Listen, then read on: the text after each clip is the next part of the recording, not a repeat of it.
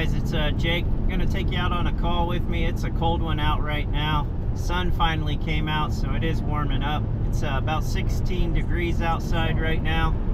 Wind chill between negative 5 and negative 10. The high today is supposed to reach about 20 degrees, 21 degrees.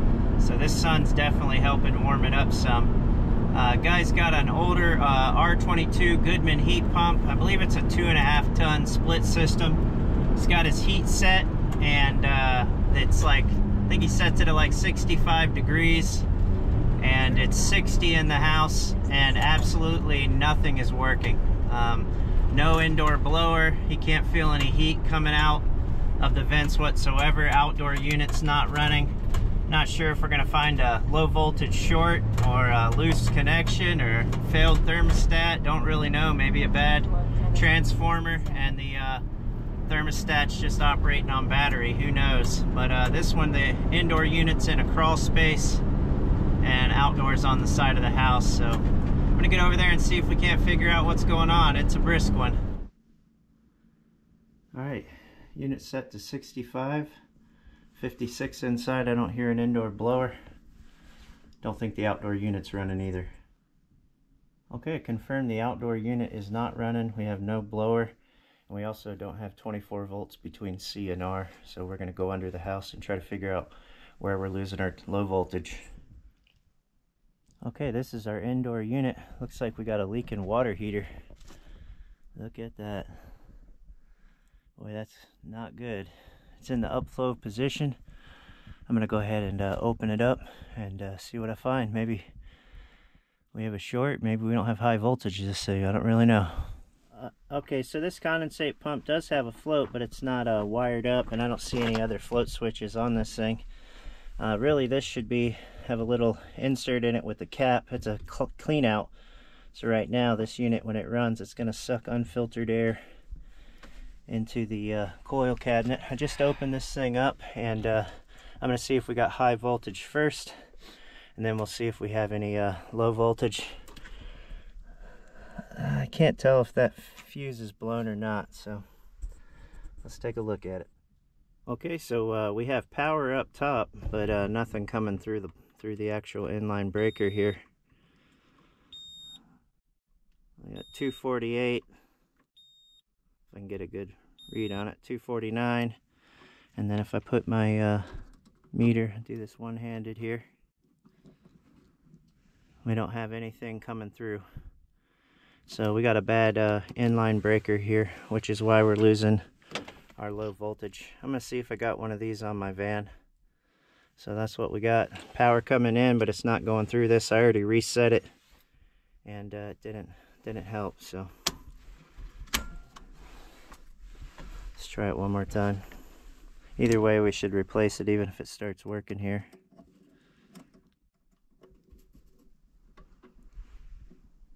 Nothing. I haven't done le one leg. I might do one leg to ground and just see if I got one leg, but I definitely don't have 230, 240 volts coming through. All right, well, I tried it again, resetting the breaker. Um, not getting anything through. I got 249 steady coming in and uh, nothing making it through. Uh, okay, I killed power coming in here and uh, these are the kind of clips that were on there on the top and the bottom. And then these clips actually just uh, hooked in in these uh, gaps here at the bottom. Same with at the top, but uh, the they won't work on this new one I have. I have it's a Goodman OEM um, inline breaker for a heat kit, but the uh, the tabs on these or the wings are too fat and won't match up with this. But it comes with these brackets here, so you just put the brackets on. They slide in like that. See that? And then you uh, slide this in here like that and you got screw holes there and you'll have of course if I can get it straight you'll have screw holes here at the bottom as well. So uh, I'm gonna go ahead and uh, mount this thing and then uh, we'll wire it up. Since I have this off here this is a white wire. By code that should be marked black as a hot. This is a 230 volt 240 volt unit here. So I'm gonna mark that with some black tape uh, I can't really reach back in there all the way to the back, but I'll go up a good little ways to uh, mark that as a hot. So I'm glad I had this. I keep these in my van I need to go restock. This is my last one, so hopefully they got them in stock here. Okay, I got the uh, inline breaker here mounted. Um, had to put a hole in one side on kitty corner. I just basically took a self-tapping screw and uh, drilled me a hole with my uh, 12 volt impact. So it's mounted in there now, it's not going anywhere. I'm gonna go ahead and uh, mark this uh, white as a hot and then start uh, swapping these wires out. Got a uh, active leak down here. It's not only at the bottom of the unit, it's coming down from the pipes. You can see it's PVC. He's actually got plumbers scheduled to come out and replumb this thing. You can hear it spraying. I can hear it spraying in here. Look at that, man. That's rotting that support completely out. That's not good.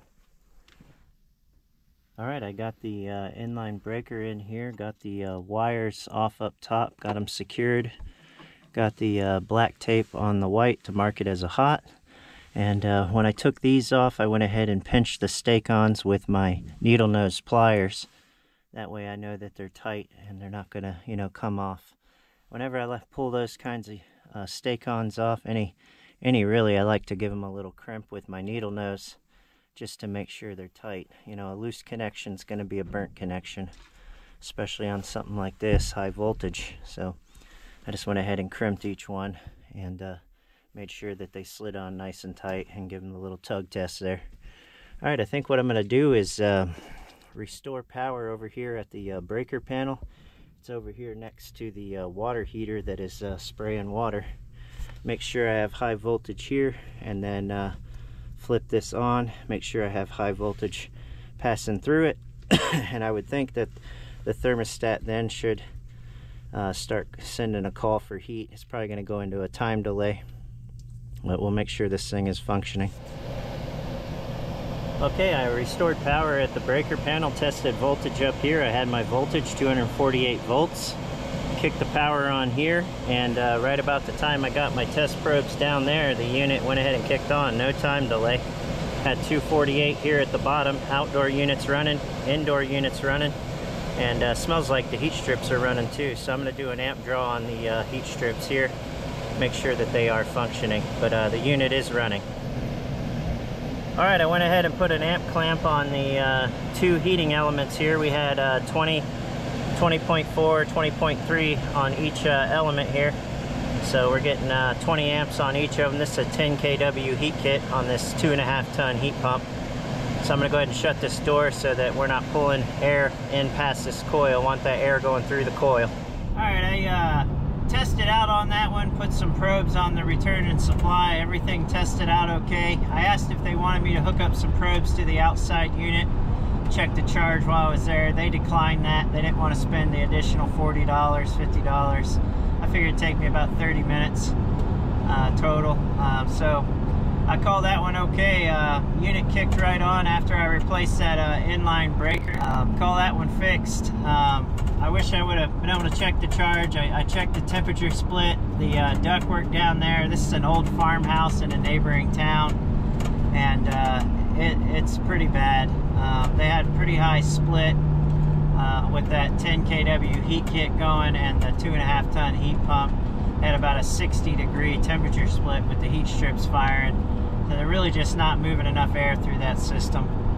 So they just don't can't afford it. The guy's got to put in a uh, new water heater on Wednesday, and he's going to have the whole house replumbed with uh, PEX PEX piping. So I guess he told me that's going to be I think he told me six thousand, sixty-five hundred dollars, something like that, to uh, to have that done. So strapped for cash. That seems to be the uh, common thread around these parts, at least. Uh, most people are pretty hurting for money, and uh, I know how that is, man. It's it's rough out here. Everything costs a fortune, and uh, man, it seems like when it's your turn to take a beating, you take a beating right now. Well, I'm heading over to my next call. I'm not sure if I'll record this one. The guy who uh, I'm going to the house, he's always on me, so he likes to chat too, so I probably won't record that one. But anyways, just want to say uh, thanks for watching. I appreciate it. If you haven't already, hit the like button, leave a comment, and uh, subscribe to the channel if you feel like it. If not, no worries. I understand. You guys stay safe out there. Get home safe to your families.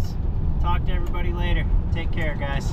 Forgot to mention this. If you guys want to check out some channels, uh, go to my uh, channel page and uh, under the featured channels section, you can find some channels that I like to follow, like uh, My HVAC Life, Zach's Shop Talk, Steve Lavie Monier, WWHVAC, different guys that I really enjoy uh, watching and following on here. Some are HVAC related, some aren't. Uh, I got a couple other guys on there featured that I like to follow, like South Texas Roots, Simply Southern, The Crockers. Uh, you know, it's different content, but, uh, and I'm, I'm so small, this isn't going to help them much at all. I used to have 30,000 subscribers before I deleted my channel and all my content, but I don't know if I'll put the work in to build my channel up like that ever again or not, but I figured I should mention that if you want to check out that uh, featured channels on my uh, page there. Uh, might give you some different channels you can check out. You might enjoy their content. All right, guys.